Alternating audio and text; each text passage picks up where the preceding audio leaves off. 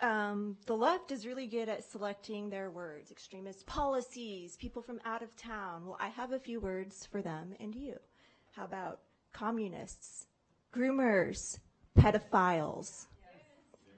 There's no logic, there's no logical excuse to allow this material or to keep secrets from parents unless you are trying to groom our children. I just want to be informed about what might, and by the way, I do have two children in the Washoe County School District, and I am a taxpayer, so I have a right to be here and to speak my mind. I just want to be informed about my, what my children are doing and learning at school. I don't want my children going to a school where other immature children are reading sexually explicit material, and I think deep down that you know that. The leftists are the extremists wanting to normalize sex at a younger age. Why not allow alcohol in schools or rooms for kids to have sex?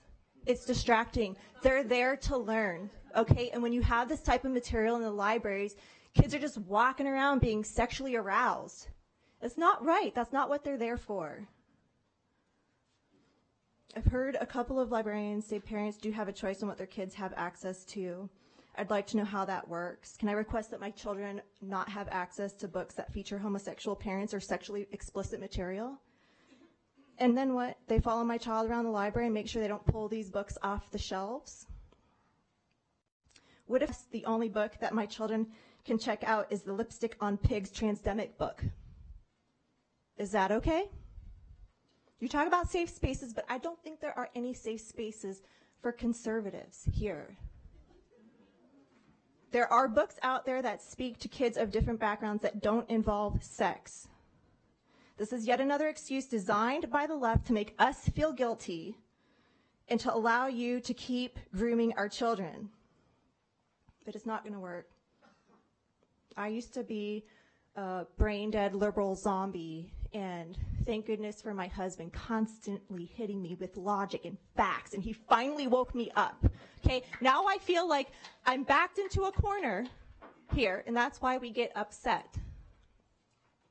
If you're so confident that these policies are good, then why not send a copy of some examples of this language home to every parent and see what they think?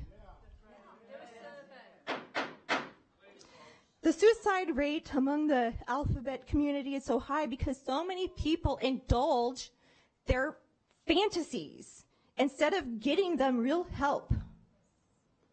I don't know how you guys can listen to all this, all the material from these books and sleep at night. It's so disgusting. I try to read some of this for my own knowledge, and it makes me sick. You should read Strong Fathers, Strong Daughters.